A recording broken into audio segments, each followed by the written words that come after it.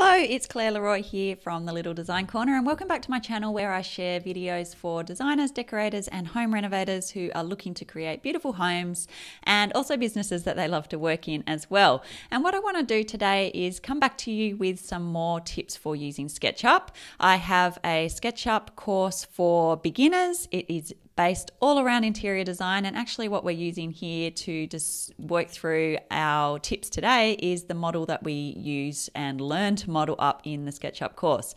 And what I want to do today is just share some tips for using the move and the rotate tools in SketchUp. So we'll go through some of the ways that these work, some of the things that people do wrong, and just give you a few different tips and tricks about using this move tool and the rotate tool. If you are new to my channel and these sorts of things are helpful to you, you, then please do consider subscribing to my channel and just hit that notification bell to be notified when my new videos go live. Otherwise, let's jump into today's tips about the move and the rotate tool in SketchUp.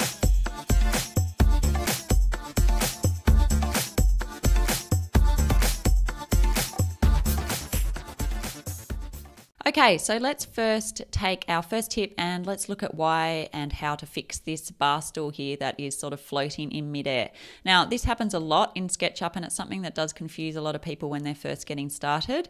And often if you bring something in from the 3D warehouse, sometimes it won't land exactly where you want it and people aren't quite sure how to make that um, get fixed up and land on the floor. Now, there's a few ways of doing this and so let's go through a couple of options. Now, the first thing is you want to actually select the object that you want to move. So just use your select tool and select on that bar stool. And one very quick way of actually moving this into position is just to grab your move tool up here and you can do a few different things. One of the things, if you have SketchUp 2020 and beyond, is that you can actually just use the um, corner that you want to align it with, and you can just pick up that corner and place it down on the floor. So it says on facing group, and you can let go, and that will place it down. So that's one very quick and easy way.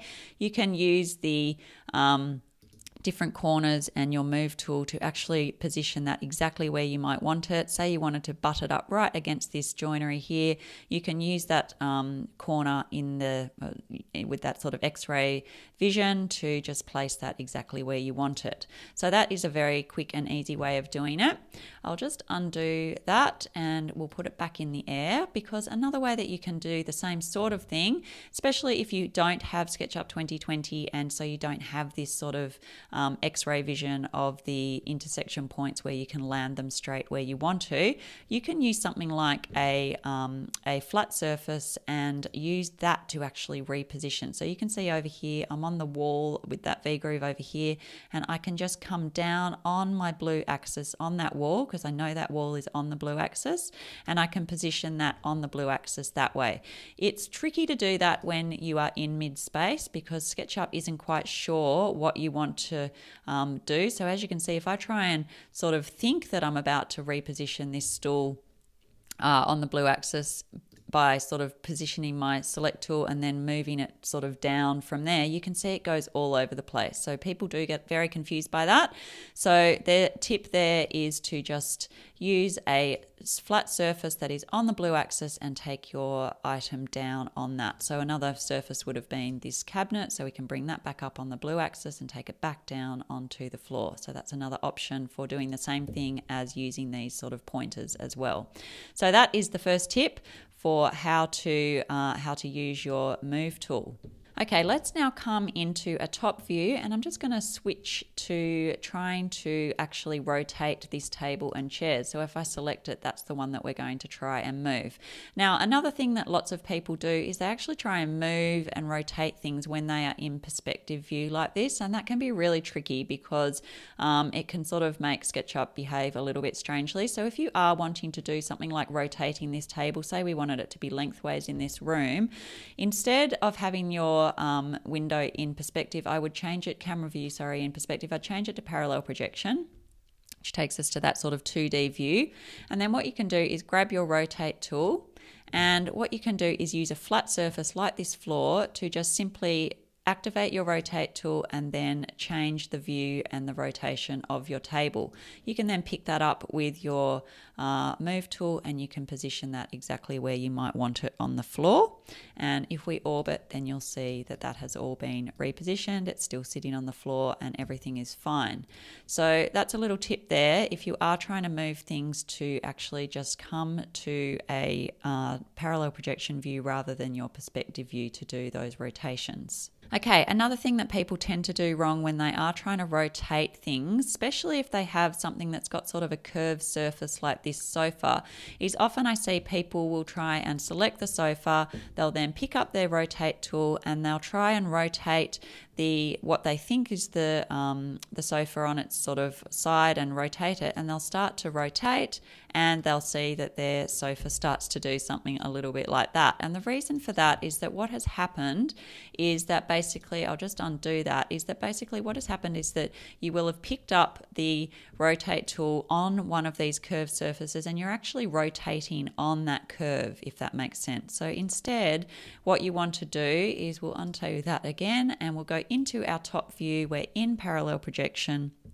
And this is why I recommend using, especially for curved things and for sofas and things that do have curves, I recommend using a flat surface like the floor to rotate on because that means that SketchUp will know that you just want to rotate the object on the flat surface and you won't end up sort of rotating it in space like you saw when we were rotating it off the curve. So come off the object for accuracy and rotate the object on the flat surface so that it stays on that uh, on the floor for you. And then you can just again use the move tool to reposition the exact position where you want it to be located uh, and that will help you to be more accurate with your rotate and your moving of that sort of slightly more complicated object with some curves in it. Okay, another thing that happens quite a lot is that people might bring things in from the 3D warehouse and this is meant to be a toilet and what happens is the toilet is sort of being placed where we can see a little bit of it but it looks like it's sitting under the floor and people aren't quite sure how to fix that little problem up. So if we orbit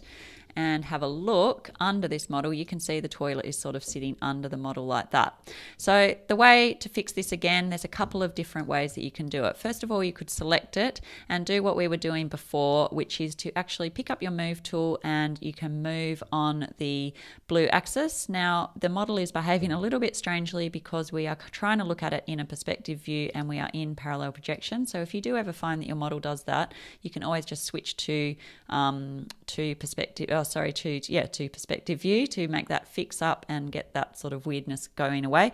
And what we want to do is again just use a flat surface on the blue axis and we can lift that toilet up and place it on the floor as you can see. So that's one option.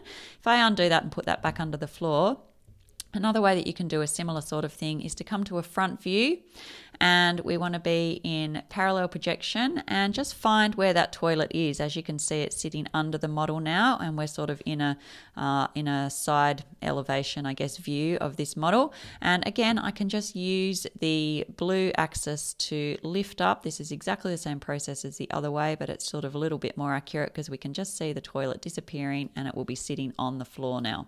So I've used the blue axis to pull it up and you can now see that it's inside and on the floor in that bathroom. So if you do find you have furniture or objects from the 3D warehouse that are appearing under what your floor should be, then that will be probably what's causing it and there's a couple of ways to fix it up for you. Okay, and then this rug is another example of the same sort of thing with the same sort of solution. As you can see, the rug has sort of come in. We'll change the view here to perspective. As you can see, the rug here is sort of hovering in midair.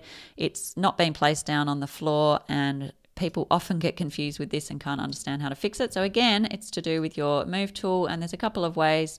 The way I would do it if I have the 2020 software, which I do, is you can just pick up the corner of your rug and you can just position that back down onto the floor easily by just placing it down on the face in the group. So that's the easiest way of doing it. Or you can again just use the wall or some other surface that is on the blue axis to position the rug down until you've got it in the spot where you want it. Be careful it doesn't shift off that axis because you will move it off the position where you want it and you can just place it down and then it will be down on the floor. So that again is the same concept, but another very typical problem that I see beginner students having when they're starting to work with their model. Okay, so that is some tips about how to use the rotate and the move tools in SketchUp. And as I said, I do have an online course for beginners that teaches you how to use SketchUp for interior design purposes. So this is a great course for interior designers or decorators who want to improve the business, their businesses and the way that they're working with clients. But it's also a course that heaps of home renovators have taken so they can create up the models of their own homes for renovation purposes or just for fun often as well. So if that course is of interest to you, I will put a link to information about the course in the description below. So please check that out. Otherwise, I will be back next week with some more tips about design, about SketchUp, about running a design business, and I hope to see you back in that video. If you would like to subscribe to my channel and make sure you're notified when my next video goes live, please do hit the subscribe button and also that notification bell so you'll be notified notified when my next video is up. Otherwise, have a great rest of your day and I'll see you in the next video. Bye for now.